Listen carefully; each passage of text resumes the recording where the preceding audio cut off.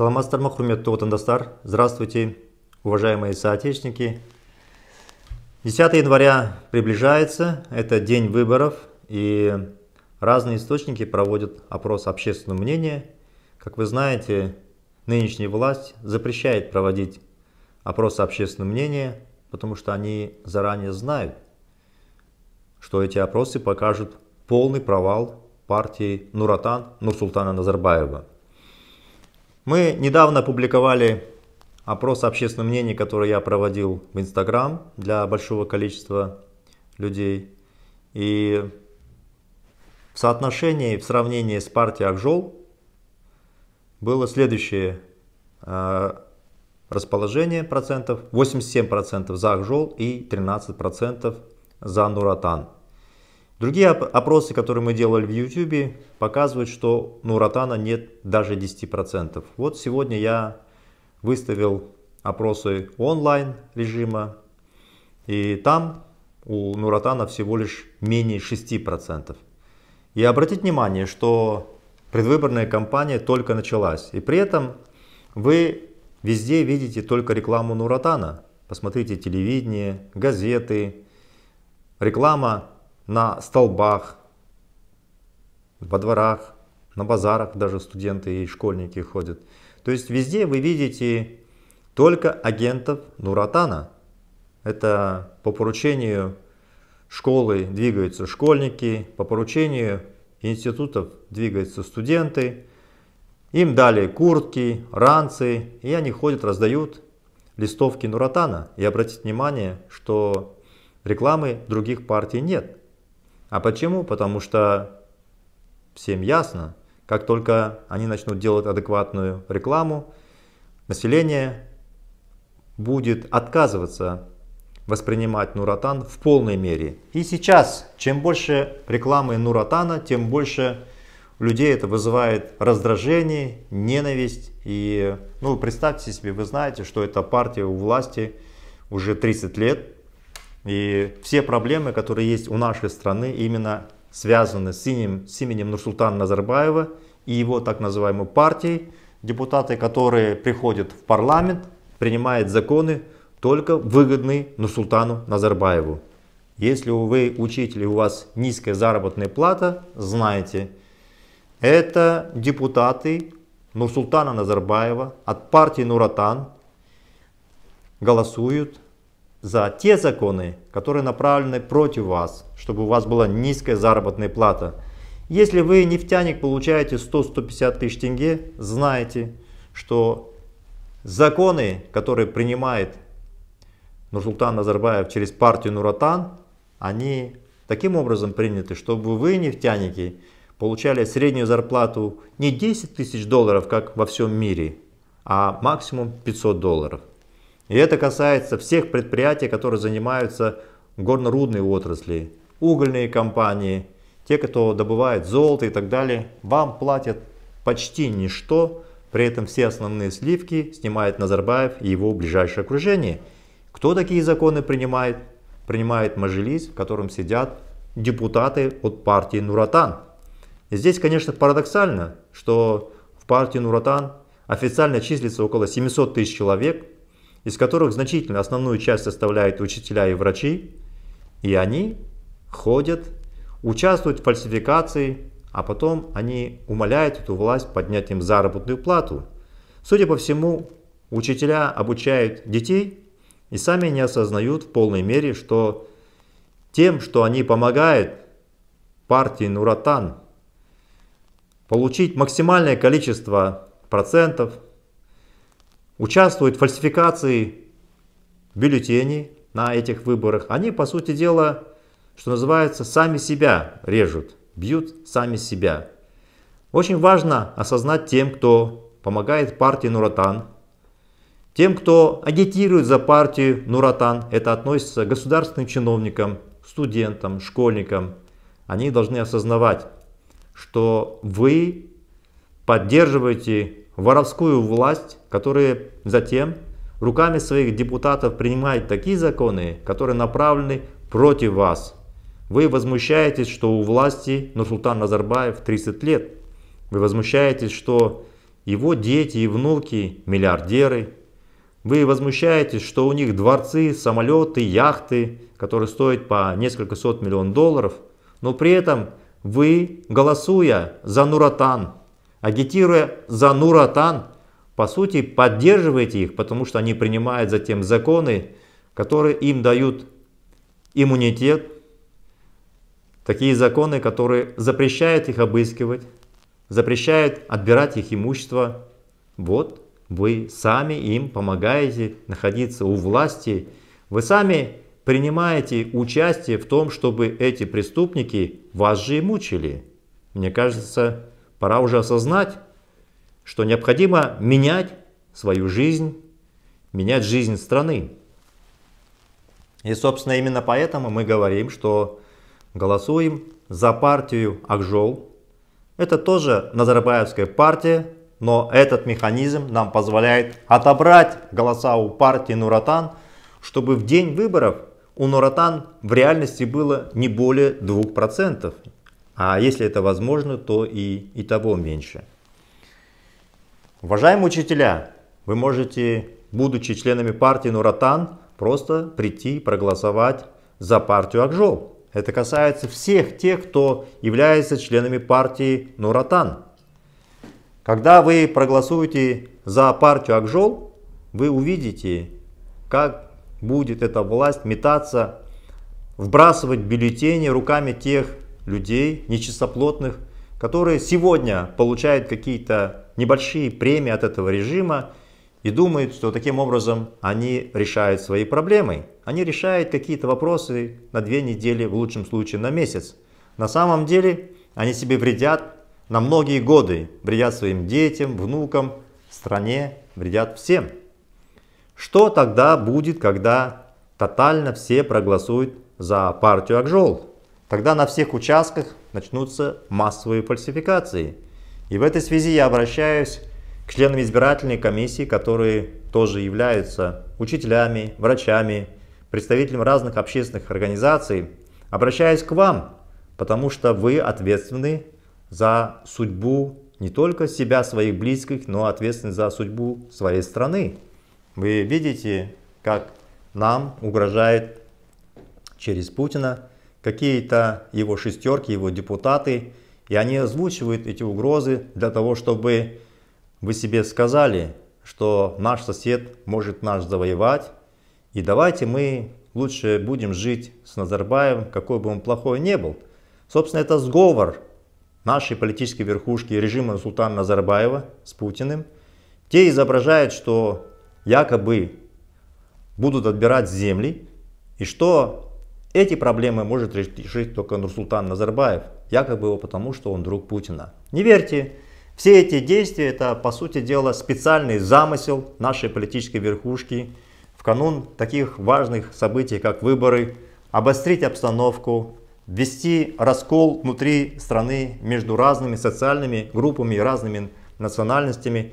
Только для этих целей идут эти выпады. И я говорю по этому поводу, что нет смысла реагировать на каких-то шестерок Путина.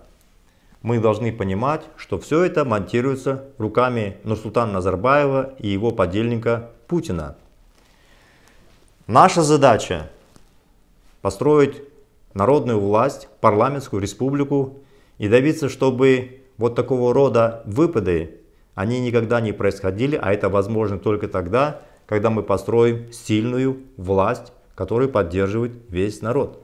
Это возможно только при парламентской республике, когда не будет должности президента, когда депутатов реально будет избирать народ, когда все правительство будет назначать парламент, депутаты избраны народом, когда акимы опять же избираются народом, вот только тогда будет сильная народная власть. Вот куда мы должны стремиться. 10 января осталось буквально чуть более двух недель. Да, сейчас Новый год, какие-то праздники, и многие живут текущей обычной жизнью, жалуются на то, что денег не хватает, жалуются на эту власть, но при этом миллионы не готовы для себя принять решение, очень важное решение. На самом деле у нас сейчас историческая возможность поменять жизнь свою и всей страны. Что мы должны сделать? Мы 10 января должны не просто прийти проголосовать за партию Акжол, не просто стоять на избирательных участках, ловить их за руку, фиксировать воровство ваших голосов. Не только это, это очень важно. Но 10 января наша задача просто снести этот режим. Я еще раз повторяю. 10 января надо для себя поставить задачу снести этот режим и построить новую страну. Когда в голове эта установка будет отстроена, тогда человек способен на такие действия, которые реально приведут нас к цели. Что мы должны делать 10 января?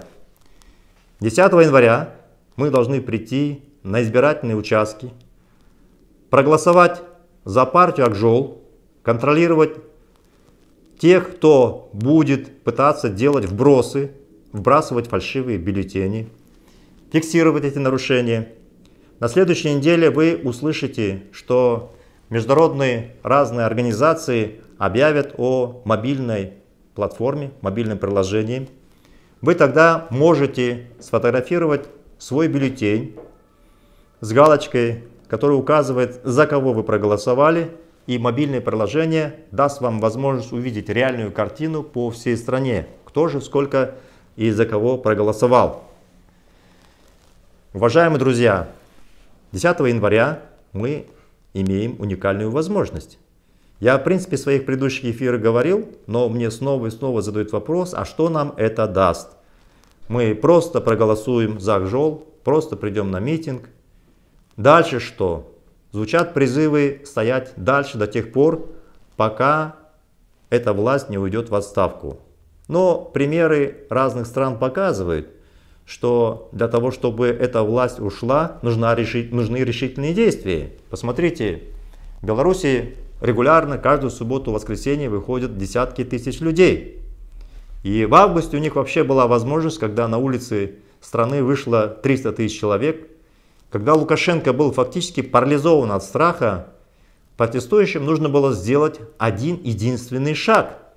Один единственный шаг – это взять резиденции Лукашенко, административные здания областных центров. Что значит взять? Просто прийти и заполнить протестующими эти здания, как это произошло в Армении. Без какого-либо конфликта просто и зайти в эти здания. Это могли добиться, этого могли добиться белорусы 8 августа, в день выборов. Но белорусы не были готовы к этому моменту психологически, организационно. И сейчас борьба затянулась, но очевидно, с учетом международных санкций, мощнейших, против самого Лукашенко, против его ближайшего окружения, с учетом того, что регулярно идут протесты, и протест он не завершается, только ширится, очевидно, что власть Лукашенко падет. Но что должны делать мы? Мы знаем, что более 90% населения настроены против Нурсултана Назарбаева и его режима. Значительная часть, скорее всего основная, знает, что мы после того, как сменим эту власть, сразу изменим свой жизненный уровень. Богатств в нашей стране так много, Притом даже не, я здесь не говорю о том, что нужно в ближайшем будущем перестраивать экономику, экономику, построить новые производства. Это все будет, безусловно. Но даже сейчас существующий уровень производства, различные предприятия и так далее, позволяет как минимум в 2-3 раза увеличить свою заработную плату и улучшить жизненный уровень. Немедленно, прямо сейчас. Назарбаев хвастается, говорит, что якобы в резервах лежит порядка 90 миллиардов долларов. Но разве вы видели эту помощь? Помощь для всей страны. Зато вы знаете, что они яхты покупают по 200 миллионов долларов, у них гигантские здания, у них огромные богатства, они швыряют деньги, они проводят празднества. Вы все это видите, вы видите их дворцы, и они перед вашими глазами. Вы все это видите. То есть эти богатства проплывают мимо нашего народа. И поэтому, что нам нужно делать? 10 января не просто выйти на акции протеста, Не ходить кругами с флагами, не просто ходить и петь песни. 10 января нам необходимо собраться в определенных местах, я сейчас скажу о них, собрать серьезную массу, затем нужно просто группой, большой группой протестующих, которые исчисляются тысячами человек, зайти в административные здания и просто заполнить их собой. И в тот день не будет режима Нусултана Назарбаева, потому что он потеряет власть в Астане, в Алматы и во многих областных центрах страны. Это простой план. Для многих это кажется фантастическим. Многие боятся, боятся полиции, боятся вообще действовать, решительно действовать. Но я много раз говорил, это уже научный факт.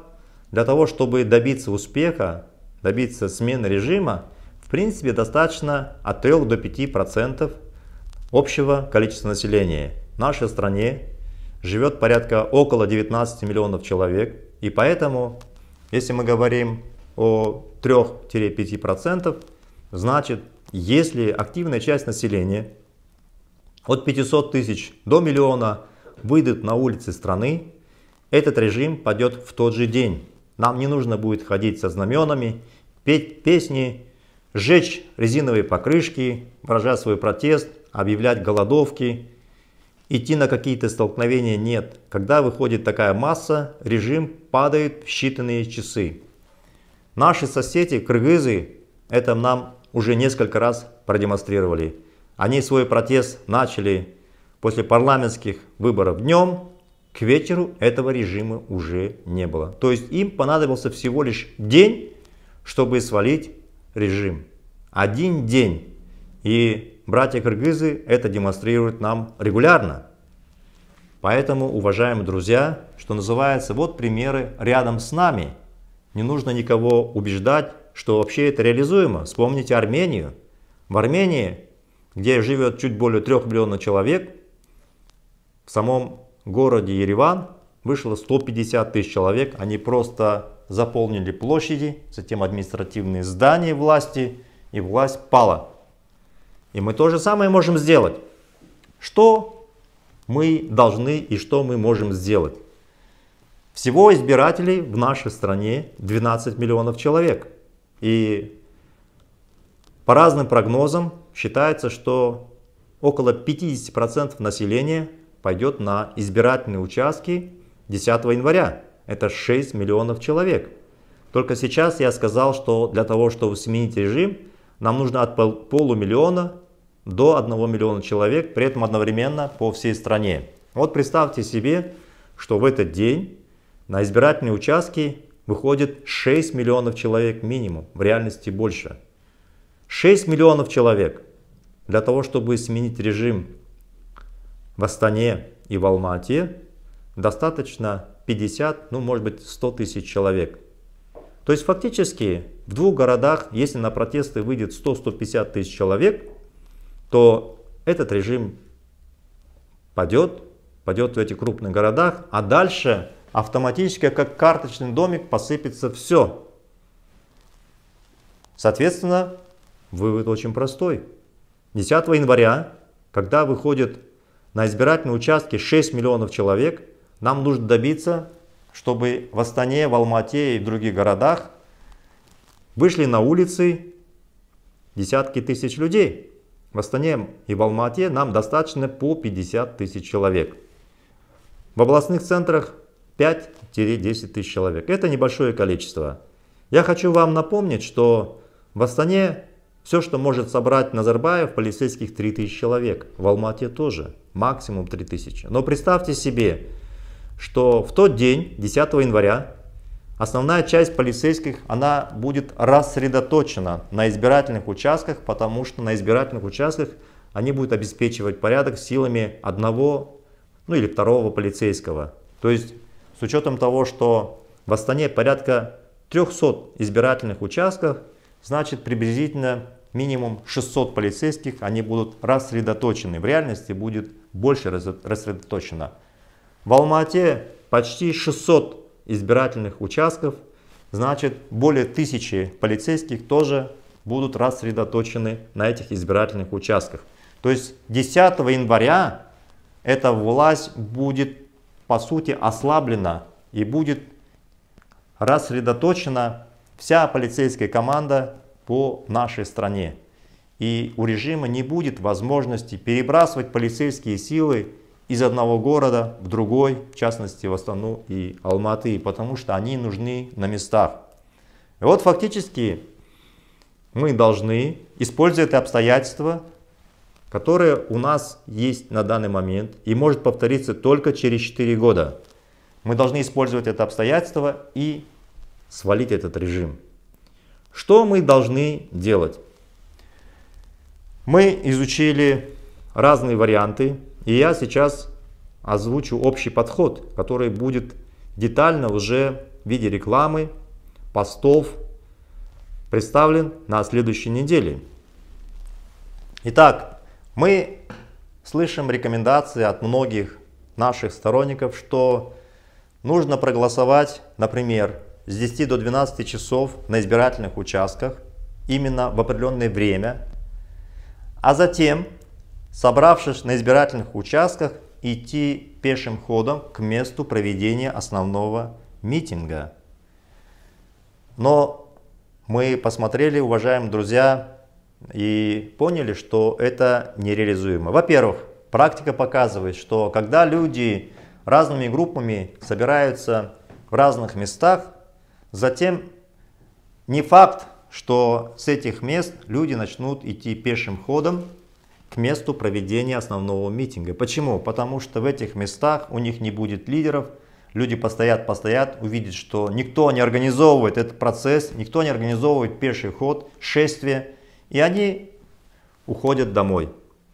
Пока на этих избирательных участках не будет группы лидеров, нам не удастся, чтобы Основная масса людей, присутствующих на избирательных участках, двинулась пешим ходом к месту проведения митинга.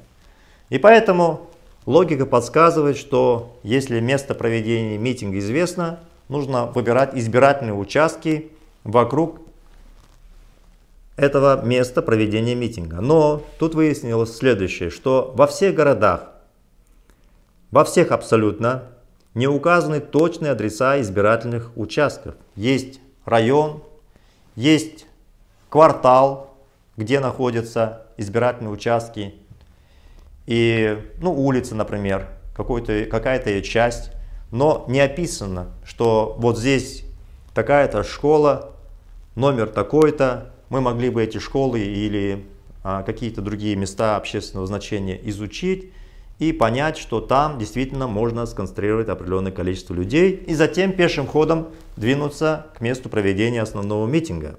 Но, к сожалению, в связи с тем, что наш ЦИК не заинтересован и опасается, что в этих местах будет большое скопление людей, не дает точные адреса. В этой связи мы применяем теперь другой принцип. Я сейчас сразу хочу сказать, что предварительно мы решили действовать следующим образом. В каждом городе мы определим места, которые известны, места сбора. Ну, например, в Алмате мы знаем 6 мест, где люди собираются. Это парки, скверы, какие-то площади. То есть там можно после того, как человек проголосовал, прийти на эти места и там обязательно будут разные люди, которые будут организовывать пеший ход, шествие в сторону проведения митинга. Что мы делаем? Мы, например, определяем 5-6 мест в Алматы и четко озвучим время, когда эта масса с 5-6 мест должна идти в сторону места проведения митинга. Там эта протестная масса собирается, готовится. И следующий маршрут это в сторону Акимата, например, в сторону Акимата Алматы. И наша задача, чтобы эти десятки тысяч людей зашли в здание Акимата и стали фактическими реальными владельцами власти в нашей стране. Еще раз повторяю, не захватывать, не ломать, просто зайти в эти здания, заполнить их самими протестующими и все. В этот день власть перейдет в сторону народа. То же самое мы делаем в Астане и других областных центрах. До выборов буквально осталось около 20 дней. И нам нужно действительно осознать, что это все реально, что это, это можно сделать. Для этого надо преодолеть страх. Для этого нам просто нужно собрать массу, и дальше все будет идти само собой по определенной логике. Я сейчас заранее этот план озвучиваю, чтобы каждый из вас осознал, что именно так мы должны сменить режим. Это исторический день, это историческая возможность. Больше такой возможности у нас не будет еще 4 года. Именно 10 января 6 миллионов человек придет на избирательные участки минимум. Для того, чтобы собрать 6 миллионов человек в других условиях, нужен серьезный повод. И в реальности у нас такого повода больше не будет еще 4 года. Поэтому, уважаемые друзья, я озвучиваю ту задачу, которую мы будем реализовывать. Прийти на избирательные участки, проголосовать за АКЖОЛ. Мы не будем дожидаться итогов выборов, которые они могут объявить через 2 дня, через 3 дня, потому что через 2-3 дня это рабочие дни, основная масса будет на работе и нереально собрать на протест миллионы человек. Именно 10 января абсолютно реально, это по факту минимум 6 миллионов человек будет на избирательных участках. Более того, у нас уже до 2 часов дня будет масса фактов, как этот режим фальсифицирует результаты выборов. Я обращаюсь сейчас к учителям и членам избирательной комиссии, которые могут нам помочь, будут нам давать эти данные, высылать фотографии, снимать на видео о том, как идет фальсификация, тотальная фальсификация на выборах. Поводов этот режим нам дал множество. Если мы хотим изменить свою, свою жизнь, жизнь своей страны, я призываю граждан Казахстана проснуться, быть активными, и мы это можем сделать 10 января. Что еще нужно сделать до 10 января? Я уже говорил, что достаточно каждому из вас просто выделить 100 тенге, напечатать 20 листовок, 20 листовок с призывом голосовать за Акжол. Это официальная агитационная ваша деятельность, которая разрешена законом. И именно до 10 января вы обладаете возможностью беспрепятственно агитировать за партию Акжол. 20 листовок, 1 миллион человек распечатывает 20 листовок, 20 миллионов листовок по всей стране, и каждый из вас осознает, что нужно голосовать за Акжол, что нужно прийти, проголосовать на избирательные участки, ловить за руку этих воров, которые подделывают эти бюллетени, затем прийти на митинг и в тот же день сменить режим. Не ходить с плакатами, не петь песни неделями, как это делают белорусы. Нет. Пример нам дают братья-кыргызы. Прийти и в тот же день сменить режим Нусултана Назарбаева 10 января. алға қазақстан